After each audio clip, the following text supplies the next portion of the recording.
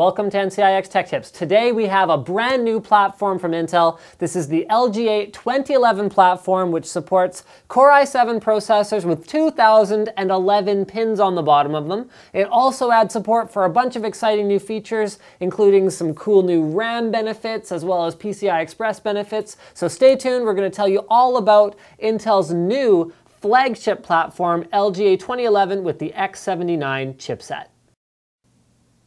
So to enclose our brand new platform from Intel, we've actually chosen a brand new case from Antec. So I've got the Antec website up here. This is the P280, which adds a ton of features to Antec's Performance One line of chassis that honestly has been a little bit stagnant in terms of innovation since the P180. The P180 turned everything in the case industry completely upside down from a silence perspective, from a performance perspective, from a design perspective, and the P280 really brings that tradition back in a lot of ways. So we see staples like the uh, double layered side panel. So you can see we got a polycarbonate layer here, which is going to help us reduce vibration as well as deaden noise. So that's on there. I'm just going to pull this guy off.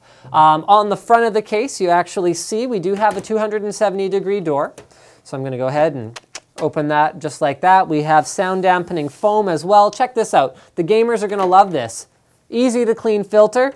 You throw it back on, Boom, just like that. So no hassle to clean the filter because a lot of them you gotta like take out screws, stuff like that. Only three five and a quarter inch bays, USB 3 and more about that in a minute. And then the power and reset switches have actually been moved to the top, so you don't even have to open the door in order to access them. Another cool thing airflow-wise, so you saw that fan filter, there's space for two 120 mil fans in the front, tons of room for airflow. These are completely open vents, and the air can easily flow into the, into the inside of the case through these vents, through the filter, so that you don't actually have these fans just suffocating and not able to get any air.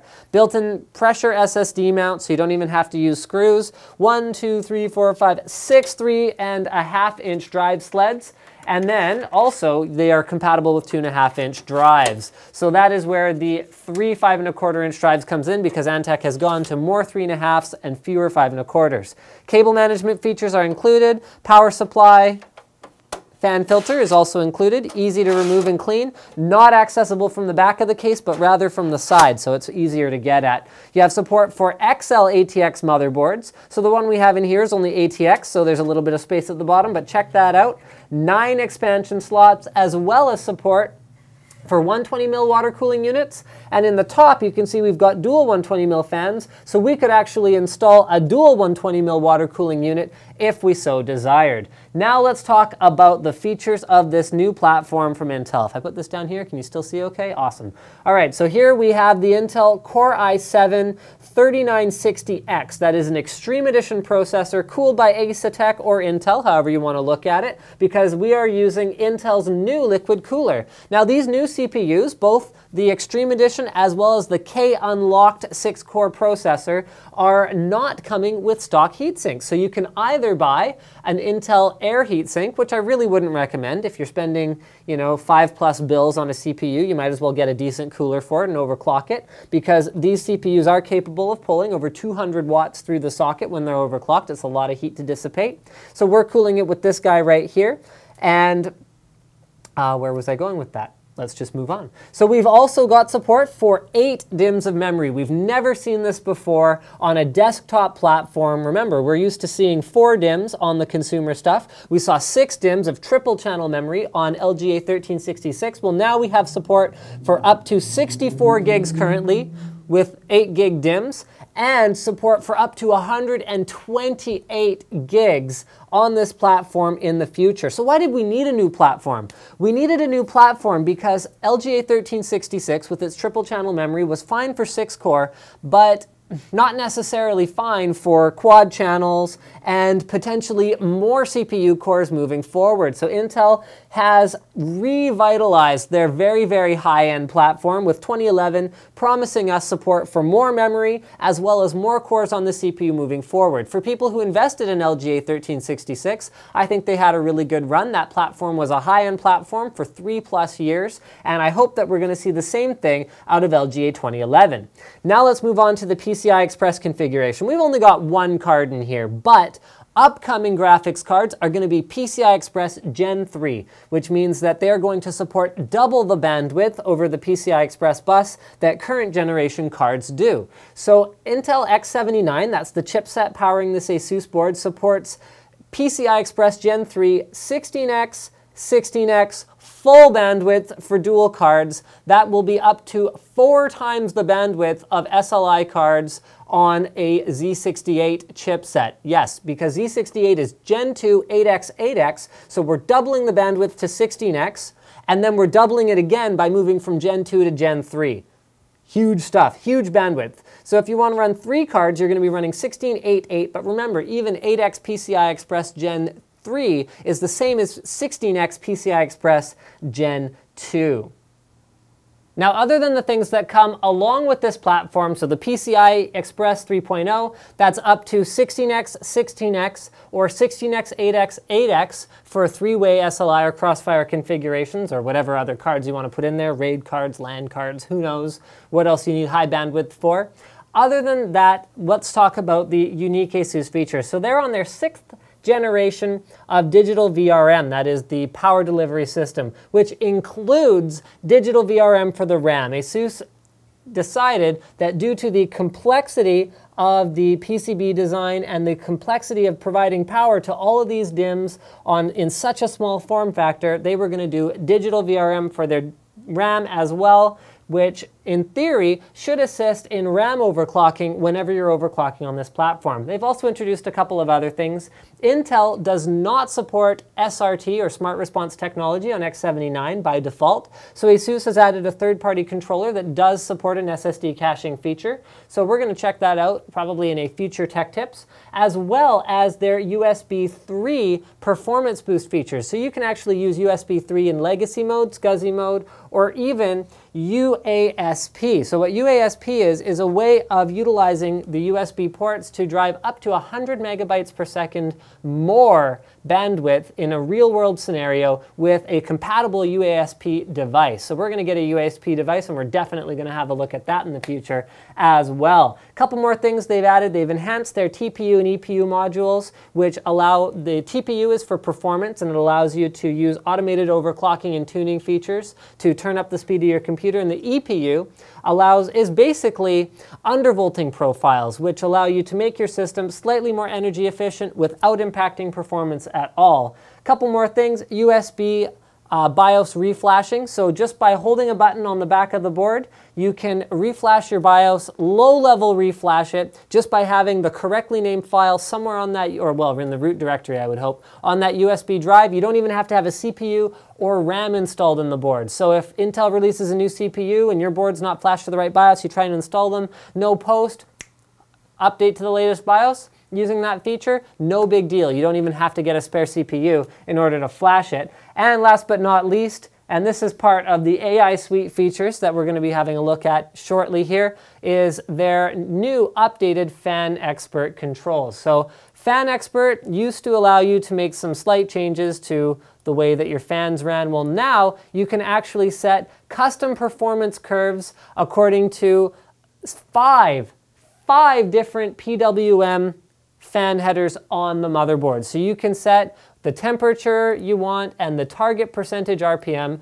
just by dragging the points around on the chart. I think you have to put them in places that somewhat make sense. Actually, I haven't really, I haven't really played around with this yet, so bear with me here, guys. But yes, you can set custom curves for all five of the different fans, and then the sixth fan header actually runs in mimic mode with the CPU fan header. So six of them can be controlled according to the temperatures that they are sensing and what speeds you want them to run. So let's have a look at some of the things included with AI suite 2. So in the tools here, we've got a bunch of different stuff. There's Turbo V Evo, which uses the TPU to adjust your performance settings. We've also got the DigiPlus power control, which allows you to adjust things about your CPU power. Here you go.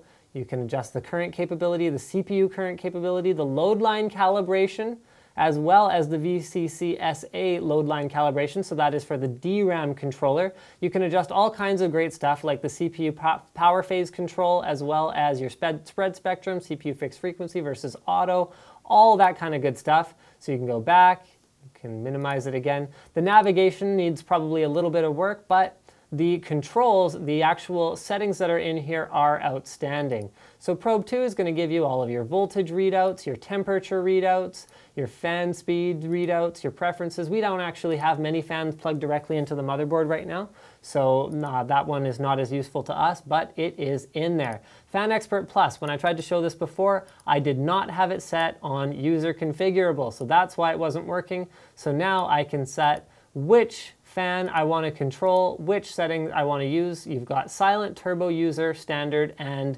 disable. So that'll just run the fans at full speed all the time. USB 3 Boost allows you to adjust the mode in which your USB devices are running. So you can set turbo mode, which enables the SCSI protocol, or UASP, which is that newer one that is much faster, and they're both faster than normal. So UASP only works on supported devices, which are coming soon, whereas turbo will work on anything to accelerate your USB 3 performance.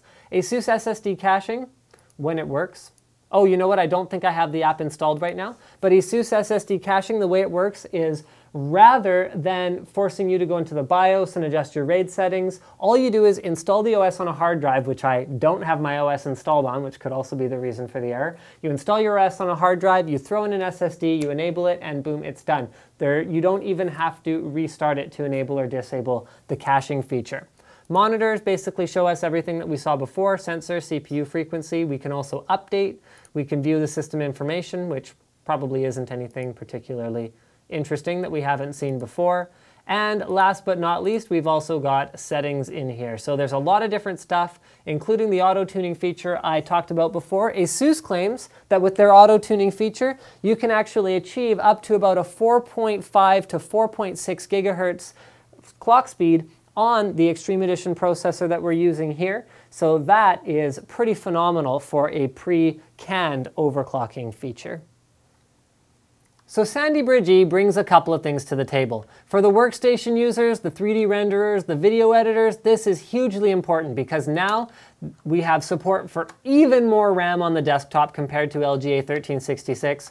We have support for better instructions per clock performance, IPC performance, versus the previous generation Bloomfield and Gulftown processors. So we have Basically, six Sandy Bridge cores in one package and more RAM support. That's very good news for them. For the gamers out there, we get some advantages as well. So we've got awesome overclocking, more cores once again, more RAM once again, and we've got support for high bandwidth interfaces for our graphics card. That is dual 16x Gen 3 PCI Express slots or we can split it up. We can go 16, 8, 8 for three-way SLI or Crossfire. And because it's Gen 3, it's going to have as much bandwidth on an 8X PCIe Gen 3 slot as there was on a PCI Express 16X slot using Gen 2 technology.